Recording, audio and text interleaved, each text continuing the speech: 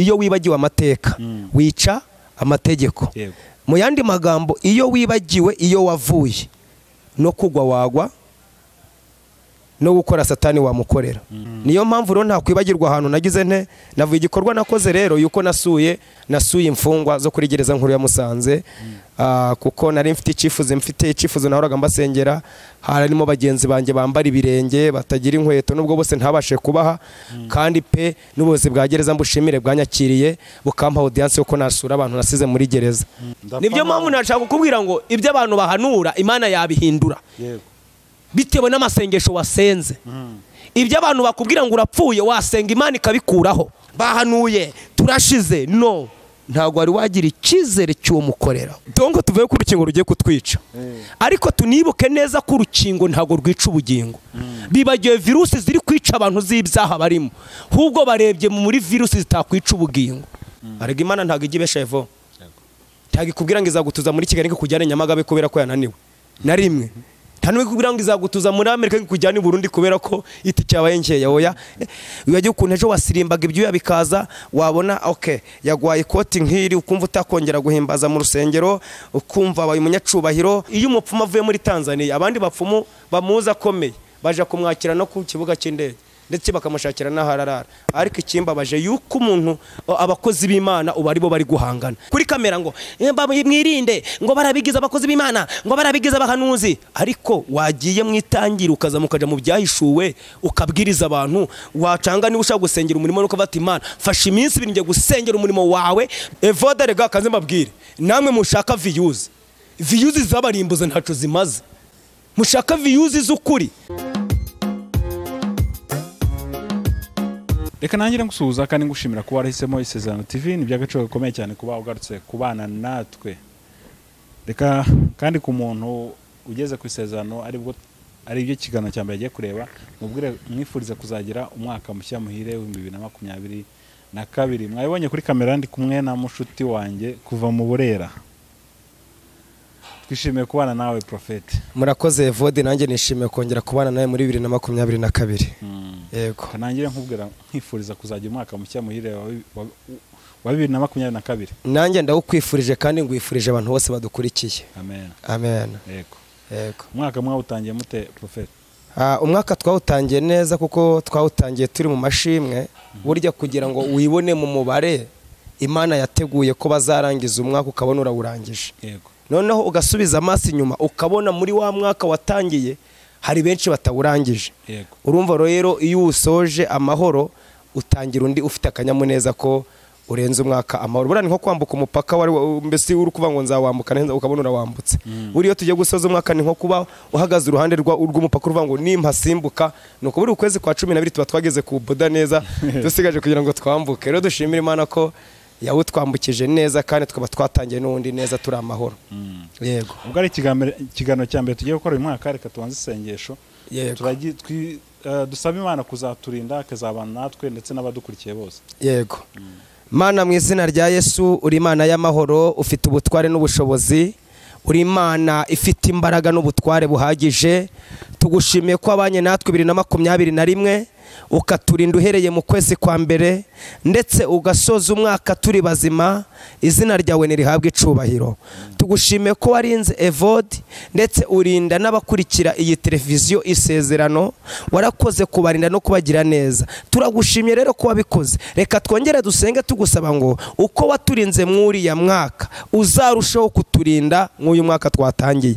Reka ibitarashobotse mu mwaka dusoje bizashoboke mu mwaka twatangiye. Nize ntashidikanya ko bizabaho. Yemwe abari biteguye kuzakira indwara mw'uriya mwaka ntibazikire. Reka nsenge mvuga ngo uyu mwaka uzarangire barakize. Abari bafite ibibazo umwaka ukarangira bitarakemutse. Reka mana ngo usabe uyu mwaka uzarangire byarakemutse. Urakoze rero cobana natwe ku kiganiro tugiye kuvugira hano imbere y'ubwoko bwawe. Ni benshi badukurikiye kuko abadukurikiye benshi ni abahanga baturusha ubwenge n'ubumenyi ariko nudukoresha turabona icyo kubabwira. Urakoze rero bana nanjye ubane na evodi kandi utugire neza udukurikiye wese ikiganiro tugiye gutambutsa kigira aho kimuvana n'aho kimugeza. Urakoze ko ubyemeye ko ugiye kudukoresha mu izina ry'umwami wacu yesu kirisitu w'i nazareti. Amen. Amen. Mm. aha profe umwaka ushize wa bibiri na makumyabiri na rimwe muri rusange ubundi wakugendekeye gute? Ni ibiki byakunejeje? Ni ibiki byakubabaje? Ah, evode ndamanza kuvuga ibyanejeje. Mm. ah, kuko ndumva n'ibyambabaje. Wenda ntabanza kubivuga kugira ngo bitamvana muri mudu ubwo kamanze mvuga ibyanejeje mvuga ibyambabaje nageze muri mudu y'ibyanejeje. Ah, icya mbere cyanejeje yuko ndangije umwaka nkiri kumwe na yesu. Icyo ni cyo cya mbere kuko hari abatangira umwaka bari kumwe na yesu ariko ugasoza batakiri kumwe nawe baramutaye. Mm. icyo ni cyo cya mbere navuga cyanejeje. Hari n'ibindi imana yakoze ariko agaciro gakomeye ni ukuba nkiri kumwe n'imana. Icyo ni cyo cya mbere cyanejeje. Icya kabiri ndashimira imana ko umwaka bibiri na makumyabiri na rimwe urangiye ah, ubushize nari mperuka hano nkubwira ko ah, nagize umugisha wo gusengera muri muna wanjye wari warabaswe n'ibiyobyabwenge agakizwa ariko nshimiye imana ko icya kabiri ndi gushimira ntabwo ari we gusa sogeje umwaka n'abandi babiri bari basigaye nabo b'abagabo bubatse. Nshimiye imana ko nabo ubu ba- bakiriye yesu bari kumwe na yesu. Eh, bo mu muryango bo mu muryango wanjye tuvukana harimo nk'unkurikira neza nta wundi urimo.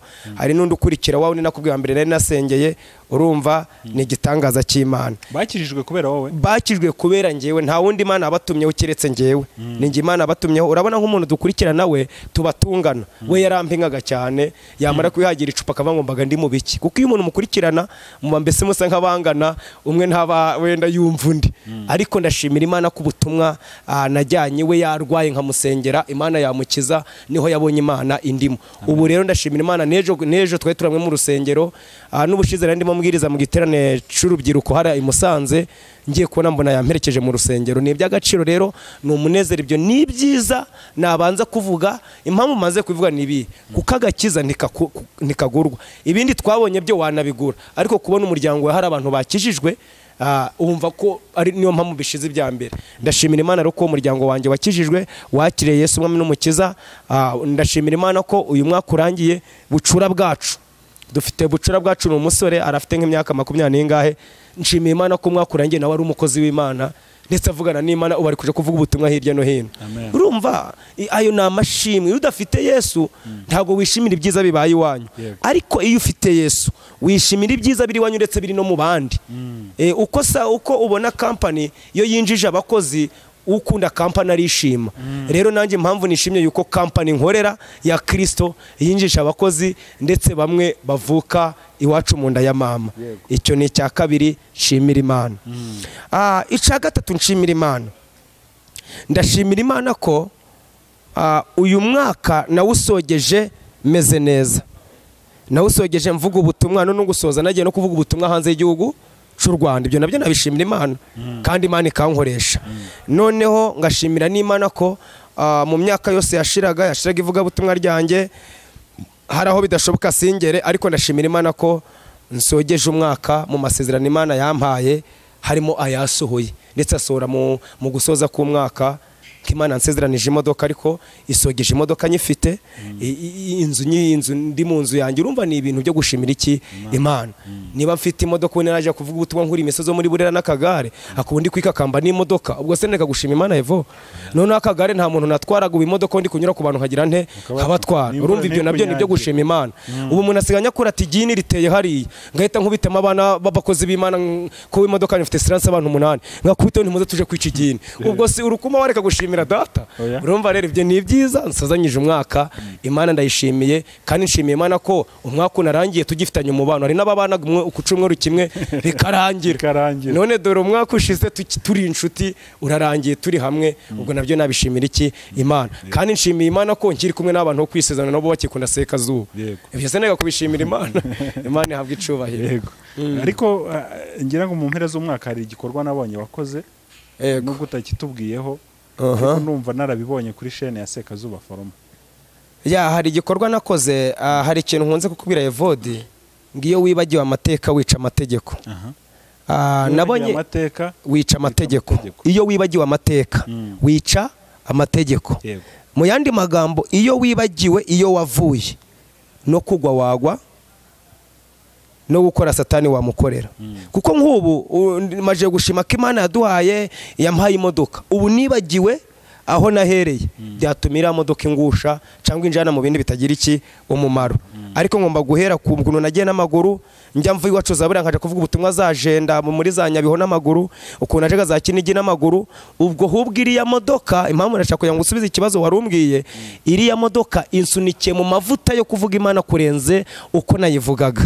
Eh, mbese iriya modoka impaye kwaguka kurusha uko naringana Ah, ikindi navuga wenda wabonye cyabaye impamvu nari mvuze ngo amateka iyo yibagiwe wica amategeko ah, urabona njyewe nakira agakiza ndi muri gereza.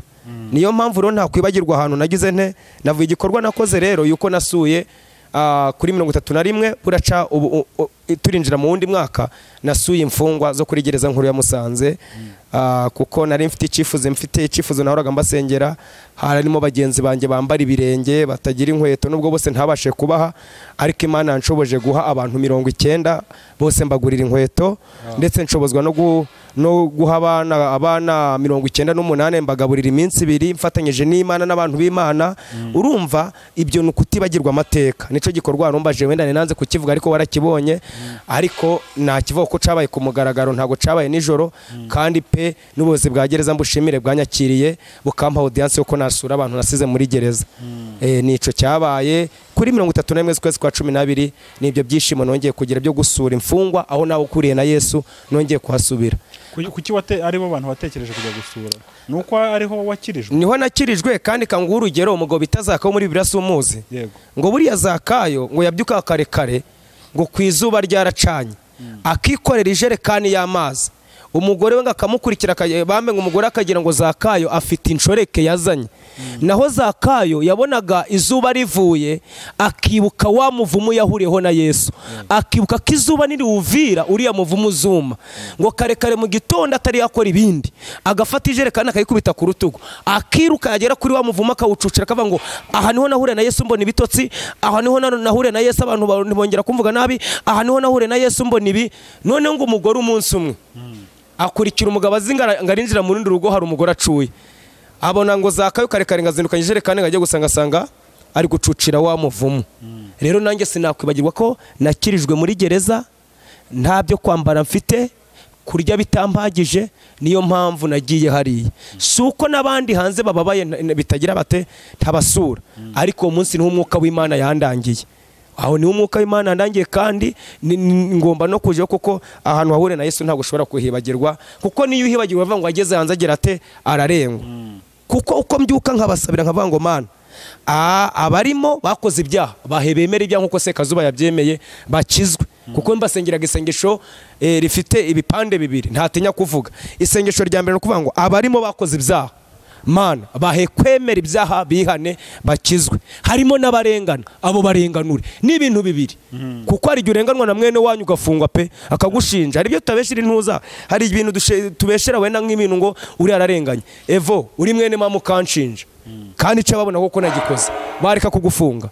Ariko abo barengana yesu abarenganure. Noneho abarimo bakoze ibyaha nabo bihane bakire Yesu umwami n'umukiza nk'uko nagezemo nanjye nkihana. Nanjye narihannye nari nakoze icyaha. Yesu amvanamo niyo mpamvu nagiye muri gereza rero kandi twahagira ibihe byiza. Nubwo ari mu bihe bibi wenda ntabashe kubabona ariko nabonanye n'ubuyobozi bwa gereza kandi raporo yanjye barayitanze. Barongera baransubiza barambwira bati bagusabiye umugisha umugisha udasanzwe. Rero ubundi gusenga ngo niba twarahaye abantu mirongo icyenda iyerekwa imana izongera kumpa noneho. Izampe wenda bagera kuri magana kandi nzi neza ko bizashoboka. Yego. Yego. Aha reka twinjire noneho mu- muri uyu mwaka. Uyu mwaka bimeze biteho urateganya iki? Ingamba ufite ni izihe? Ah, uyu mwaka urakoze. Ingamba mfite wenda ndakurikiza nk'ubuhanuzi buriho. Ubuhanuzi buriho buravuga ko uyu mwaka bikomeye. Yego. Birakomeye cyane. Mm, nawe niko ubibona Ah, Niko- ufite. ndashaka kugusubiza ikintu. Ubuhanuzi buriho biravuze ngo birakomeye. Ariko burya nta n'umwaka woroheye abantu. Rero nshaka kuvuga iki? Umwaka wose uko waba ukomeye. Uri kumwe n'imana ntacu uzaba. Umwaka wose uko waba ukomeye uri kumwe n'imana ntacu uzaba. Bibiri na makumyabiri yari yoroshe se? Muri veni veni kandi abantu bayigiyemo bazi ko bagiye mu- muri para kandi urabona hari hari igihe byahitize ngo bibiri na makumyabiri muri veni veni abantu tuzaba turi abasirimu tuzaryoha abatarasubijwe tuzasubizwa. Evode imana itandukanye n'abantu. Ikintu abantu bahurahuye cyane ayo makuru agatamburika cyane benshi bakayamenya. Ntabwo imana izira muri ayo makuru. Ni ukuri kw'imana ntabwo imana izira mu makuru abantu bose bavuze ari benshi. Imana izira mu makuru atari yamenyekana n'abantu benshi abantu batazi. Rero urabona ko umwaka ngo ni umwaka w'uburyohe uhita uhinduka umwaka w'iki? W'ubusharire. Usharirira abantu. Rero icyo nabwira abantu niba utari hamwe n'imana uwo mwaka uzakugonga. Ariko utari kumwe n'umwaka n'umwaka udafite ibibazo wakugonga. Kuko yaravuze ngo abanjye ndabazi. Niduca mu muriro ntacyo tuzagira dute? Ntabwo tuzasha. Nitunyura mu mazi atemba ntabwo azadutembana. Noneho igeze nyuma iravuga ngo nzatanga ingabo nyinshi. Zipfe? Ku bwanyu. Ntabwo izo ngabo zizatangwa mu mwaka mwiza ahubwo no mu mwaka w'ibibazo. Abemera imana bagendana na yo. Izatanga ingabo zipfe ariko uwo mwaka ubasige. Yego. Rero ntabwo navuguruza ubuhanuzi bw'abantu bishobora kuba ari umwaka w'ibibazo ariko reka nkubwire abari kumwe na yesu ntacyo tuzagira dute? Tuzaba ahubwo tubwire utari kumwe na yesu kugira ngo yiyishe uyu mwaka nibegere yesu. Nibabane n'imana bongere bayigarukire ntacu umwaka uzabatwara. Yego. Na- nari nkubaje ni wowe ingamba ufite ni izihe noneho rero? Ah, ingamba mfite rero. Niba negeraga imana mirongo inani na gatanu ku ijana ingamba mfite ni ukwegera imana wenda akamvuge mirongo icyenda n'umunani ku ijana. Wenda sinago ijana ku ijana byo ntiwabishobora cyangwa n'iki ariko mirongo icyenda na gatanu njyewe imbaraga nari mfite niba zari ziri mu biro- mirongo itanu zo kwegera imana. Ndumva uyu mwaka gusenga imana kwanjye ari ukugira mu biro ni ukurenzaho ibiro nari mfite negera imana. Mbese ni ukuvuga ngo uyu ni umwaka ugiye uyu mwaka ingamba nafashe ni ugusenga kurenza uko nasengaga. Ariko hezekiya yarasengaga evode.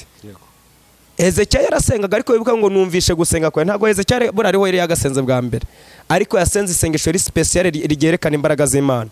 Impamvu imana yemeye ikize ezekeri ikavuga ngo numvishe gusenga kwawe. N'ubundi yarasengaga imana ikamwumva. Ariko umva akantu imana yamwemereye. Bari bamaze kumubwira ko agiye gupfa. Nkurikira wumve. Umuhanuzi nka yesaya uzwi mu bahanuzi cumi na barindwi bose. Yaramaje kumubwira ngo erekera ivure ntabwo uzakira rero hezekiya iyo aba atari umuntu imana irimo neza ngo yemere ko n'imana no mu gihe cy'urupfu yaboneka yongera apfuka amasengero avuga ngo oke ngiye gupfa umuhanuzi arahanuye kamanika amaboko. Ndapfa ni byo mpamvu nashaka kukubwira ngo ibyo abantu bahanura imana yabihindura. Yego. Bitewe n'amasengesho wasenze. Ibyo abantu bakubwira ngo urapfuye wasenga imana ikabikuraho. Hezekiya baramubwira ngo ugiye gupfa? Arabyakira ati koko ndapfa. Burundu ntabwo nzabaho. Arabyemera nawe. Ariko arangije ati hari ingingo yandengera. Nubwo umuhanuzi Yesaya yahanuye icyo ndakora ni kimwe. Ngiye kongera gusenga. Asenze bibiri ivuga neza ngo imana yumva gusenga kwe. Iramubwira ngo ntabwo ugipfuye ngo ibwire umuhanuzi amubwiye ngo urapfa. Itonde mu kanya utuma mu kwa kane hari ubundi buhanuzi buje buvuguruje ubwahanuwe ko umwaka ugiye kutwica. Kuko imana yitandukanye n'abantu. Uje kumva ukumva noneho ngo umuhanuzi imana yamutegeka ngo subirayo. Ugende ubwire umugaragu wanjye hezekiya. Numvise gusenga kwe. Mbona na mariya. We ntabwo agipfuye kubaho kwe nongereho imyaka cumi n'itanu. Izo ni imbaraga z'isengesho zihindura ubuhanuzi. None se sani yarahanuye rero niyo mpamvu nakubwira ngo nta bintera ubwoba. Ikintera ubwoba yivuka nkikubwira mushuti we. Nakubwira ikintu kintera ubwoba. Icyantera ubwoba cyatuma ntigira icyizere. Nakoze icyaha. Icyaha cyatuma ntasinzira hayo kuvuga ngo uyu mwaka kereka ntiringiye imbaraga za bosi ko zingana. Burya utagira utari wagira bosi wawe imbaraga cyangwa iyo utari wamenya uwo ukorera imbaraga afite. Niho ukora uhuzagurika bahanuye turashize. No. Ntabwo wari wagira icyizere cy'uwo mukorera ukorera uwo ari we. Naho iyo wamajije kumenya uwo ukorera wenyine yaravuze ngo umva nzatanga ingabo nyinshi nimuca mu mazi. Nta- umva uyu mwaka wa bibiri na makumyabiri na kabiri sekazuba ngo urangije atari igisinde cumi n'imwe nagurishe ngo nshaka umuzamu wo kurinda urugo rwanjye. Iyera yabanye nanjye mw'uyu mwaka. Icyo nsabwa ni ukuyubaha igakomeza ikabana nanjye. Rero hezekiya yaramaje guhanirwa ngo arapfa ntiyapfuye. Arasenga. Ahubwo uyu mwaka navuga ngo birakomeye wongera gusenga. Urebe ko imana irahita ihindura. Witonde urakira abandi bahanuzi. Ba- ba- ubuntu babaye Hey, iyo usenze imana irahinduka. Yego. Iyo usenze imana irahinduka. Iyo usenze imana none si umwaka w'uburyohe bari biteze barawubonye? Oya wahuye n'ubusharire. None ni umwaka waje ukaze. Reka abantu bongere gusenga. Nudasenga aho uzapfa. Nutegera imana aho uzapfa. Reka tunababwire. Kuko urabona ikintu abantu barimo barashaka kuryohana n'isi ariko bakibagirwa aho tuzajya. Icyo ni cyo kintu cyishe ab'isi. N'abagira ubwoba ni abantu bazi batunze amaso ku isi ntibatunga amaso ku bugingo. Niba uzi ko hari ubugingo butazapfa. Ndaguha nk'urugero nzana iki kintu gikomeye. Ejo we naganizaga umugabo wacu ari i burera. Bamufunze kabiri bamufungira kutikingiza. Utumye aka kantu nkavuga. Naramusatire n'inshuti yanjye ndamuganiza ndamugana ariko ubundi abantu bamaze gukingirwa muri iki gihugu cy'u rwanda. Ye baramutse bapfuye. Ubu wasigara muri iki gihugu wenyine. Ye, dongo tuvuye ko urukingo rugiye kutwica. Ariko tunibuke neza ko urukingo ntabwo rwica ubugingo. Bibagiwe virusi ziri kwica abantu z'ibyaha barimo. Ahubwo barebye muri virusi zitakwica ubugingo. Icyo kintu tuki- ucumbiye vodi? Akantu kavuga neza ahubwo. Eh, reka hari virusi yica ubugingo ari cyo bita icyaha. Ntabwo abantu bagitinya. Noneho hari abantu babaswe n'imyemerere y'amadini yabo batinya urukingo batinya urukingo aho gutinya icyaha bakora. Eh, ugasanga umuntu ngo njye sindikingiza ngo idini ryanjye ngo urungo ni antikristo ni iki? Urukingo ntabwo rwica ubugingo. Unabyumve neza. Urukingo ntabwo rwakwica ubugingo bwawe. Icica ubugingo ni icyaha. Ejo bundi baramufashe bazimuteza ikurikiranye inshinge. urumva? Umva yanze kwishingiza. Noneho ngo ngo ngo- ngo agende ku mahame y'itorero. Bazimukubite sipide ebyiri barazimukingira. Namubwiye nti miliyoni z'abanyarwanda zirangije kwikingiza sigara mu byabo twipfire. Niba tugiye gupfa noneho. Eh, rero reka dutinye icyaha. Nibyo nakubwiye ngo iyo nje nakoze icyaha cyatuma ntasinzira evodi ariko igihe ntari mucako umwaka nushaka uzaze ababanye na yesu azabana nabo abatari kumwe nabo ni akazi kabo. Ni byo ashaka kumbwira intumbero. Nakubwiye ngo uyu mwaka ni ho nakubwiye ngo nongeye ibiro byo gusenga. Ibiro byo gusenga ni nakurikiye hezekiya yarasenze imana avuga ati mwana wanjye yesaya subirayo umubwire ntabwo agipfuye reka abantu bongere gusenga no gukizwa naho ntibatinye ntibaparapare ngo turapfe turaye. Ahubwo mwongere gusenga mwongere no gukizwa.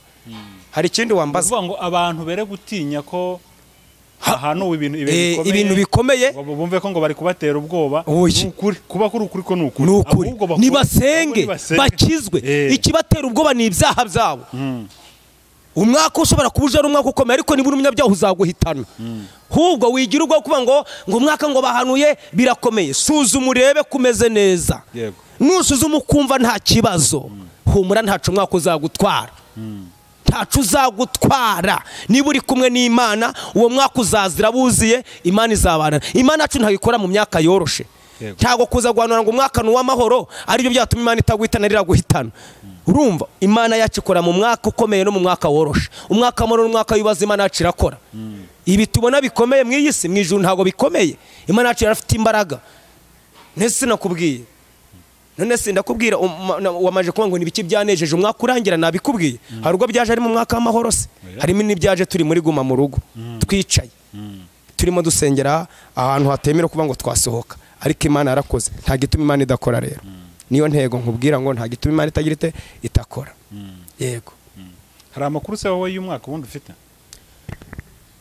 Amakuru ava mu ijuru. Amakuru y'umwaka? Njye nakubwiye ngo ni umwaka wo kuba nongera ibiro byo gusenga hari impamvu nabikubwiye wo kongera gusenga kuri njye. Ubwo njye hano nkavuga ngo intumye ku bantu aka kanya amakuru yanjye y'umwaka na sekazuba arahari. Ariko amakuru y'abantu ni ukubabwira ngo kuko amakuru duhora tuyatanga evode hari igihe utabwira abantu amakuru se? Uhita ubwira abantu mushaka imana. Kuko hano bibiri iranditse neza wenda nkoreshe n'ibyanditswe byera hano mu gitabo cya kabiri cy'ibyo ku ngoma cumi na gatanu ngo abisirayeli bamaze igihe kirekire badafite imana nyakuri. Badafite imana. Bari abantu bariho bazi ngo bafite imana ariko batayifite kuko ibyaha byabo. Bibiri ivuga neza ngo ariko ibyago bibagezeho. Ibyago. Nk'ibyago biri guhanurwa. Tujye dusoma bibiriya duhere neza tuyumve kuko bibiriya wenda ni igitabo twemera twese. Ngo ibyago bibagezeho barahindukirira. Bashakisha uwiteka imana yabo. Barayishaka barayibona. N'ubundi bari baronka bafite imana ariko batayifite. Ariko ngo bayishakishije barayi- barayigira bate? Barayibona. Iyo ugeze ku murongo wa cumi na kabiri mu cyiciro bavuga ngo barongera basinya isezerano ryo gushakisha uwiteka imana. N'imitima yabo yose n'ubwenge bwabo bwose birivuga neza ngo umugore n'umugabo ukomeye n'uworoheje. Bamaze kuyishaka bagira bate? Barayibona. Bivuga ngo uyu mwaka nushaka imana uzayibona. Nutayishaka izaguta nk'uko birivuga ngo nimutanshaka nimundeka nanjye nzabareka. Ariko nimunshaka muzambona. Iyo ugeze ku murongo wa cumi na gatanu akantu kanezeza ni akahere rero? Muri iki gitabo. Iravuga ngo kubera ko mwongeye kungarukira imana itanga ihumura impande zose. Itanga ihumura impande zose. Ntabwo yiteye ku mwaka w'ibibazo bari barimo ahubwo ngo bakimara kongera kuyishaka itanga ihumure impande zose. Ntabwo yahaye umuzungu ihumure gusa ngo yime umwirabura. Ahubwo abantu bose bayishatse muri icyo gihe. Nta nubwo yatanze ihumure ku bakene ngo isige abakire n'abakire bashatse imana. Abo bose yabahaye iki? Ihumure. Yego. Yego. Hari ikindi wambaza? Oya ahubwo ndashaka ko duha abantu ubutumwa ijambo wumva wifuza ko abantu bashobora kugenderaho mu- muri uyu mwaka. Ah, ijambo naha abantu ntabwo ndaje kure y'iri jambo mbahaye ni ugushaka imana. Ko biriya nibivuga ngo nimunshaka muzambona nimunta nanjye nzabata. Ureka gushaka imana igomba kumureka. Kandi buriya iyo watandukanye n'imana ubwiza bw'imana bugenda bukuvaho. Iyo watandukanye n'imana ubwiza bw'imana bugenda kure yawe. Areka mw'uyu mwaka rero tubwire abantu ngo niba bitarashobotse mw'uyu mwaka wongera wegere imana bizashoboka. Nimuhunga satani nawe azabahunga. Nimushaka imana namwe muzayibona. Birivuga neza ngo nimuba muri njye amagambo yanjye akaba muri mwe. Musabe icyo mushaka muzayi ariko mumaje kuba muri yo. Ntabwo rero iby'isi bira- biradutwaye cyane kurusha ibyo twasezeranijwe byo kuba ngo hari aho tuzagera tuzagira n'ubu bwoba. Evoda hari ikintu abantu twahaye imbaraga cyane kurusha icyo twari dukwiye guha imbaraga. Twe twibagiye ko hari ahantu tuzaba tutazarwara. Icyo ni icya mbere. Hari ahantu tuzaba tutazagira ibibazo nk'ibiri kudutera ubwoba. Hari ahantu tuzaba nta rwango ruzabayo. Aho hantu abantu ntabwo bahaye agaciro cyane ahubwo bahaye agaciro cyane ku by'isi. Niyo mpamvu uri kubona umuntu nk'ibyo mu kanya twaze tukubwira ukabona umuntu arahitinze ariko kubera ko uhaye iby'isi cyane imihitingire yawe ibaye iy'umwaka gumwe kubera ko wahaye imbaraga iby'isi cyane kurusha iby'ubugingo. Kandi ijambo ngo hari akantu ushaka gusogereza kanditswe mu migani imigani makumyabiri na kabiri umurongo wa kane uravuga ngo uwicisha bugufi akubaha uwiteka. Wumve hari igihembo cya nyuma kitajeho ikintu nzamuha ubukire kubera ko wubasha uwiteka. Muhe icubahiro ariko nzamuha ubugingo. Hejuru y'ubugingo nta kindi kintu kizaboneka kuko ni igihembo kidafite ikintu kigira gite? Kikiruta. Igihembo cy'ubugingo ni igihembo kitagira ikindi kiri hejuru yacu. Uwicisha bugufi itonde mutagira ngo ni ugupfa kubibona uwicisha bugufi akubaha uwiteka. Ingororano ye ni ubukire ni icubahiro n'ubugingo. Hejuru y'ubugingo nta kindi gihembo. Ni igihembo kiruta ibindi bihembo byose twabonye. Ibyo twaboneye mu isi hari ikindi gihembo cyitwa ubugingo. Reka abantu rero duhe agaciro ubugingo kurusha ibindi ibi bizarangira. Ibi twumva bizarangira ibi nahoze ngushimira ngo ah, imana hari ibyo yakoze yansezeranije kuko yarabikoze. Arega imana ntabwo ijya ibesha evo ntabwo ikubwira ngo izagutuza muri kigali ngo ikujyane nyamagabe kubera ko yananiwe. Na rimwe. Nta ikubwira ngo izagutuza muri amerika ngo ikujyane i burundi kubera ko itike yabaye nkeya oya ni imana ivuga kandi igasohoza. Kandi reka tuyizere ko ari imana idahinduka. Icyo ishaka ni iki? Ni ukuyemera ikabana natwe ndetse tugaharanira cya gihugu cy'amahoro tuzaturamo. Yeee cya gihugu cy'amahoro nahoze nkubwira ngo imana yambaye imodoka ariko mfite ibibazo. Ariko hari aho tuzahabwa ubugingo butagira ibibazo. Nahoze nkubwira ngo mu ivugabutumwa ryanjye mu myaka itandatu mvuye muri gereza ngirijwe muri gereza. Ah, na- nabaye hari iwacu burera nkodesha ubu ntawe nkodesha. Ariko nshobora kuyiryamo ntakodesha ariko nkagira iki? Ibibazo. Ariko hari aho tuzaba. Hatagira ibibazo. Ibi ni ibidufasha mu murimo w'imana. Ibi ni ibidufasha nk'uko nakubwira ngo nagenda ku kagare ka siporo bumwe sintwara umugore wanjye nkaba nkamutegera cyangwa tugatega moto. Ariko ubu ndi gushyiramo umuryango. Ibi ni ibidufasha tugikorera imana. Ariko hari aho tuzaba. Reka tubwire abantu mw'uyu mwaka rero turimo. Reka twongere duhe agaciro igihugu twasezeranijwe kuva kera. Tugihe imbaraga kurusha isi turimo. Iyi si izashira n'ibiriho ariko hari aho tuzajya bitazagira bite? Bitazashira. Twongere duhe abandi eh, ndumva umwuka mpata no kongera kubwira abantu. Hari abantu umwaka urangiye bari biteze kugira impinduka mu buzima bwabo. Ntabwo imana yacu yananiwe mw'uyu mwaka urangiye ngo imanike amaboko. Ahubwo ushobora kuba utarabona ayo mahirwe nk'uyu mwaka warangiye ariko uyu mwaka bibiri na makumyabiri na kabiri. Amahirwe yawe yo kwiz- yo- yo kwizera imana. Akagira icyo wabona. Ibi tugezeho twarasenze turaburara Na- ubuhamya bwanjye burazwi hano ku isezerano. Navaga mu- muri burera nkajya mu ijenda n'amaguru. Kandi mvuga imana ndi umuhanuzi w'imana. Yahamagaye.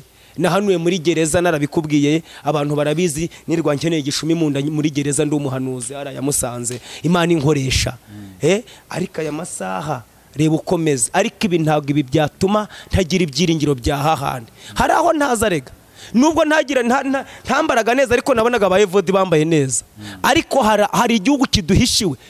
Kiduhishiwe tutazi neza amazu yaho ukuntu yubatswe tuzabamo. Twumva ko ari amazu meza twumva ko tuzaba mu mahoro. Aho hantu ariho dukumbura kurusha byose. Kandi tubabwira ngo uyu mwaka ntugutere ubwoba ahubwo terwa ubwoba n'ibyaho uri gukora. Ariko profe wa mugani ngo ha- hari akantu uvuzeho ubundi ngo aba- abakozi b'imana benshi bashinjwa ko uko imana igenda ibazamura ariko nabo bagenda basa nk'aho bayitera umugongo.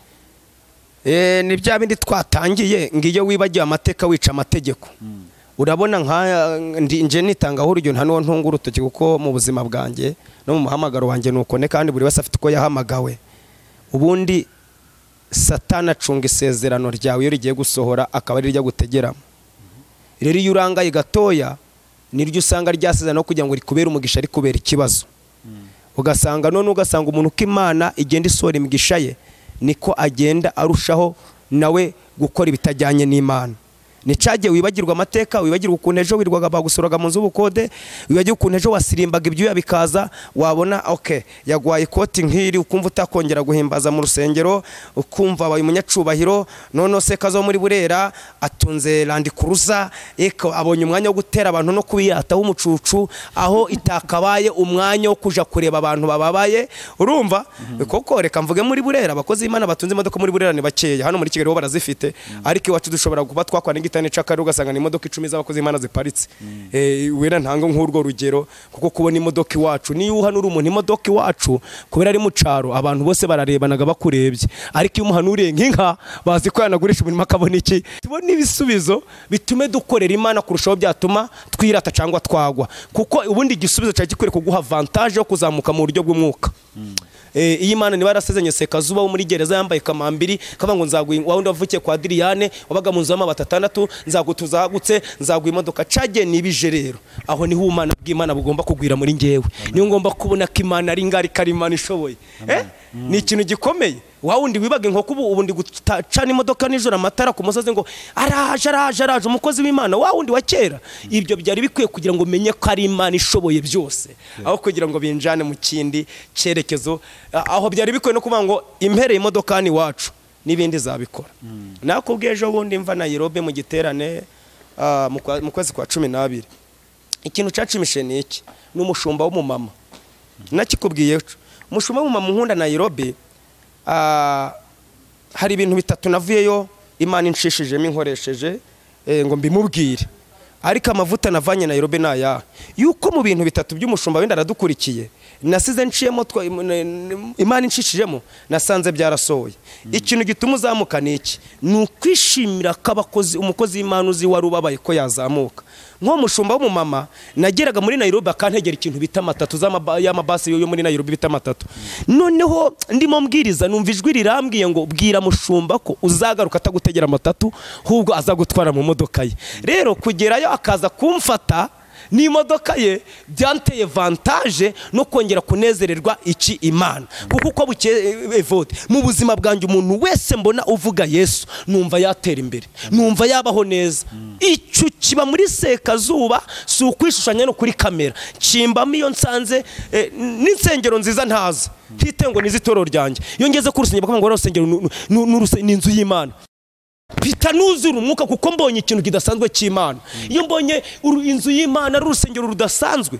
Ayayayaya mu kanya umuntu azanye n'imodoka hano eh, yiriwe antwaye yambaje nkigera muri kigali ni umusore. Yarambwiye ati ubuhanuzi wampanuriye bwarasohoye. Nubwo mfite akazi reka nirwe nkore umugisha wo kugutwara aho urajya. Ku nkoramutima kuri radiyo njya kubwirizayo. Yantwaye yazindutse aho naraye kare kare yangeza kuri radiyo. Ah, hano njya gusengera umuntu w'umu- w'umurwayi. Anjyanayo.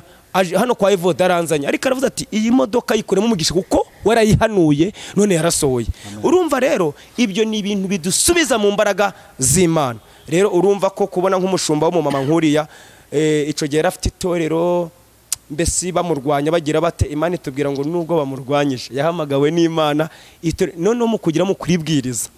Ngira ngo wakurikiye akavido naguhaye. Mu kubwiriza ririya torero rya nayirobi nasanze uko imana avuze ngo urusengero ruzuzura ruzuye abantu bari kubyigana. Rero icyo twari dukwiye nk'abakozi b'imana kwari ukumva niba ari n'amakuru mabi twumvishe ku bakozi b'imana mu mwaka wa bibiri na makumyabiri na rimwe reka tubasengere ngo uyu mwaka urangire nta andi makuru mabi tugira dute tubumvaho. Kuko evode nkunze kuvuga ngo iyo umupfumu avuye muri tanzania abandi bapfumu bamuzi akomeye baje kumwakira no ku kibuga cy'indege ndetse bakamushakira n'ahararara. Ariko ikimbabaje yuko umuntu abakozi b'imana ubu ari bo bari guhangana. Rero reka tubabwire ngo ngewe umutima wanjye vude nk'uko wari umbaje numva umuntu wese uvugira imana yabaho neza ah, yatera imbere kandi imana mu ijuru. Ndabizi ko umutima wanjye ntabwo ngenda umwuzukuru wa gahini ntabwo nitaka ndi umwuzukuru wa bere. Numva ibyiza rero by'abakozi b'imana byahora biriho ariko n'ababivangavanga nabo buri wese afite uko azahembwa ibyo ni ibyabo nuvuga neza avugishwa n'imana ari ukuri na byo ni uko imana rero iguha umugisha kandi urakoze. Kumbaza icyo kibazo. Eh, ubona biterwa n'iki kugira ngo abakozi b'imana ba- bahangane Eh, aho bi- biva arega twese tuvuga imana ntabwo ariko duhuje umuhamagaro nta nubwo duhuje agakiza. Eh, ha- kuvuga imana ukaza ugasobanura hano bibiliya ugahanura si ugukizwa ndetse nta nubwo ufite indangagaciro y'ijura bose abavugira imana hano. Niyo wumva umuntu agahita yaduka umuntu muzina akamuvuga ugasanga afite noneho imvugo ye niyo kwicara ku makamera avuga abantu arega satani none ugira ngo satani akoresha umuntu uvuye mu kabarevo umuntu uvuye mu kabari kuvuga sekazuba ntabwo ntabwo nta- njyana byahitinga nta nubwo byacamo. Ariko gufata nka sekazuba nkicara hano ah, harya pasiteri witwa nde? Mbabarira nubwo batari kukureba mvuga izina Bernard. ryawe. Eh? bernard. Eh, noneho nkicara hano eh, satani gukoresha umuntu wo mu kabari ngo asebye berenari ntago biraba injyana nziza. Ahubwo sekazuba uzi berenari satani kumukoresha akicara imbere ya kamera akamusebye ibyo abantu barabiha iki? Agaca barangwa sekazo amakuru ya berenari yayamenye ni ho satani yafatiye abantu. Usanga umuntu arahangara umuntu w'umushumba aramuvuga kuri kamera uko ashaka. Arega yakoze icyaha ni byo? Mureke kuko nubwo ari umushumba nta muntu satani ananirwa. Nubwo waba warize ibitabo bingana bite? Se satani aragu- agufiteho ubasha kuba yawukoresha ariko ako kanya guhita nze nka nkuvuge mba mbaye nanjye wa satani. Mba ngiye mu mujo ahubwo musengera ufate umwanya wo kumusengera. Niba ari na ngombwa ufate ngo mani urashoboye? Yaguye mu cyaha. Ntago icyaha gitinya amashuri. Icyaha gitinya umwuka wera. Kandi ntabwo umwuka wera atungwa n'abantu bafite amashuri cyangwa kuba uri pasiteri uri bishopu uri potere apotere yakora ibyaha ako kanya. Bishopu yakora ibyaha. Umuhanuzi muzinga abahanura yakora ibyaha. Ahubwo icyo dushaka kugira ngo dufate umwanya wo gusebanya dukwiye gufata umwanya wo kongera kubasengera. Tukavuga ngo mana bari abantu baragize bate? Bari gukora ibidakwiriye. Ugafata umwanya ukerera. Ndaguha nk'urugero rukomeye. Njye n'ejo bundi namuhamagaye uwo muntu sinatse kumuvuga mu izina. Nahoraga muririra ku bwe kuko ku bw'amakuru ye bamuvugaga amakuru buriya mu kintu kiba ntabwo nemeza ikintu ntari nihagararaho. Ariko amakuru nyabonye ariyo. Mfata umwanya ndamusura. Ni umuntu w'inshuti ntashatse kuvuga ariko amaje kuba ambwiza ukuri arihana pe. Arambwira ati koko ibyo bavuga ni byo nti rero njyewe singera mu bintu ntahagazemo. Reka abantu tureke guhangana ahubwo ibyo kwigisha birahari ibyo gukomeza abanyarwanda birahari ibyo gukomeza abatuye isi birahari naho ibyo guhangana atari satani ni satani ubikoresha nta nta wundi. Nta wundi muntu wanabikora kugira ngo dusebanye cyangwa turiwe dusebye umurimo w'imana. Ngo abakozi b'imana ngo b'iki gihe ngo bose barabesha. Tongo avuze abakozi b'imana. Nubwo avuze abakozi ba satani oviude ngo bariya ngo biyita ngo abakozi b'imana kandi nawe uje witwa umukozi w'imana. Urutoki rugutunga bariya ejo rukugira gute? Rukukureba. Kuri kamera ngo "Eh, mwirinde ngo barabigize abakozi b'imana ngo barabigize abahanuzi. Ariko wagiye mu itangira ukaza mukaja mu byahishuwe ukabwiriza abantu wacanga niba ushaka gusengera umurimo nuko bati imana. Fasha iminsi ibiri njye gusengera umurimo wawe. Bano bantu ntagiye kuri kamera barambabaje reka mbasengere. Ibyo birahagije evodi utaje imbere hano ku isezerano evode rega kaze mbabwire. Namwe mushaka viyuzi viyuzi zabarimbuza ntacyo zimaze. Mushaka viyuzi z'ukuri. Nk'ubu icyo ngukundira ni kimwe. Uhora ubabajwe n'umurimo ntabwo ushaka kugira ngo ibintu bisebwe niyo mpamvu ngo mbese biriya bintu bituruka hehe hari abakeneye kugira ngo nidushaka twice ariko hari na viyuzi zatuma abantu bajya hehe igihonomo shaka viyuzi yo kugira ngo abapasitori baze gufatanira kuri kamera yawe ngo izo ni viyuzi abatambyi basekurane umutwe. Ngo reka ngo mbajane basekurane ngo reka mbateranye. Hari viyuzi zizakurimbuza nawe. Dushaka viyuzi zaduhesha ubugingo cyangwa zaduhesha agaciro. Eh. Ya. Mm, Profe reka ngushimire eh, ko wemeye kutuganiriza waje Kigali ukagenda ukavuga uti ntabwo nagenda ntasuye mushuti wanjye Yego. Awe ya iyo ni ingeso yanjye nta nubwo nabikora ntabwo nagenda ntagusuye mm, kandi twari tumaze igihe kirekire umwaka warangiye ni we duheruka kubonana mm, kandi urabizi ko mu bantu namwe mu bantu b'inshuti zanjye magara urimo. Njya nayirobi nakunyuzeho mva nayirobi ndongera nkunyuraho gatoya yuko naje nijoro waravuze ko ugiye kunsangana no ku kibuga cy'indege cya waransanganiye. Ariko aho nagusanze nasanze unyakiriye. Ahubwo nzaguca amande nabo abantu bari nkurikiye bandebe yuko uherutse kuja Nari umusanzu ukaza utari ibirere byo muri kwirega. kandi nkokereje ibirere byo muri burera uzaze utwirire ibirere by'amaganda. Ubundi iyo wamenyeje umuntu akumva ngo wageze ku butaka bwe arababara. None se buriya niyo waraririye ku iriya sane tukiri ibirere byokeje ukamwira wakanagiye kwa buriya butaka. Buriya na madamu ari kugenda kugira ngo madamu yumve ko namutumikiye kuko twari twakwiteguye. Rero nzaguca amande ariko nta kibazo. vuba. Mm, rero nuko ndagukunda kandi nkunda n'abantu b'isezerano ndetse n'abavandimwe mwese munyura ku isezerano mwese ndabakunda kandi namwe mujye mukunda sekazuba ndetse na mutari munabizi ibi bitegeko gukunda sekazuba kuko ni itegeko yesu yaduhaye. Yesu aravuze ngo dukundane nk'uko yadukunze. Iryo ni itegeko ntavuze ngo ni amategeko abiri kundisha umutima wowe witeka imana yawe ukunde mugenzi wawe. Rero riba itegeko gukunda sekazuba imana ibampera umugisha. Reka dusoze n'ubundi dusengera Ah, murakoze vodi kandi kuba mwongeye kutwemera gutanga ikiganiro no kubwiriza ubwoko bw'imana budukurikiye no kubuganiza biba byiza. Aha tuba tubwirije abantu batandukanye benshi na byo ni umugisha uba ukomeye. Eh, none no kuva hano amahoro ukicara hano imbere ya kamera ah, ari amahoro ubwira abantu bakurusha ubwenge benshi bakurusha ubuhanga bakurusha gusesengura. Tubashimire kuba mwaduteze amatwi mwese mudukurikiye ku isezerano. Imana yo mu ijuru ibahe umugisha kandi bagire neza mureke dusenge imana. Kandi mbifurize ngo uyu mwaka wa bibiri na makumyabiri na kabiri ibitarashobotse mu wurangiye bizashoboke muri uyu mwaka. Mana mu izina rya yesu uri imana y'amahoro ufite ubutware n'ubushobozi ufite imbaraga zihambaye urera urakiranuka. Dusengeye abera bawe badukurikiye baba bari mu gihugu cy'u rwanda baba bari muri afurika yacu baba bari ku yindi migabane amerika australia canada i burayi ndetse n'ibindi bihugu by'abarabu aziya. Reka tukwereke kugira ngo abo bari barwaye bazi ngo bazakira mu mwaka urangiye ntibakire. Reka tubasengere ukuboko kwe gukiza kuracyahari. Abari bafite ibibazo bitandukanye bazi ngo bizakemuka. Mu izina rya Yesu Kristo reka bikemuke mu uyu mwaka. Reka imbaraga ze zibagereho kandi ikiruta byose batinye indwara y'icyaha. Kuko iyo ni indwara yica ubugingo ni indwara ikujyana muri egihonomu reka ugwize umubare w'abakizwa ugabanye umubare w'abarimbuka. Wakizwa uri muri amerika wakizwa uri buraya wakizwa uri australia. Reka uwiteka uyu mwaka uba umwaka wo gukizwa umwaka wo kwegera imana umwaka wo guhunga satani ube ku buzima bwawe. Reka imbaraga z'imana zigere ku bwoko bwawe kandi bitarashobotse reka bishoboke. Ibyanze kwemera byemere. Dusengera abatureba kuri kamera. Dusengera abo twicaranye hano bari kutureba live. Mu izina rya yesu reka umugisha uboneke kuri bo. Kandi imbaraga zawe bagire neza. Bapasitori bari mu izi mpande. Reka ubagire neza. Abari muri aka gace hose ahantu isezerano ikorera. Reka umugisha umugisha utambagire hirya no hino. Ndetse ibikorwa bikorerwa hano. Reka byakubwe ku bw'isezerano n'abakozi b'imana batambukira aha hantu. Urakoze kristo kubanye nanjye kandi ukangira neza. Komeza unkoreshe mu gihe nk'iki. Komeza undindire ubuhamya. Komeza umfate akaboko kuko utamfashe nanjye nagwa. Urakoze kubanye nanjye kandi ukangira neza. Reka amahoro n'umutekano utanga bigwire ku muntu wese utubonye kandi udukurikiye. Mu izina ry'umwami wacu yesu kristo w'i nazareti. Amen.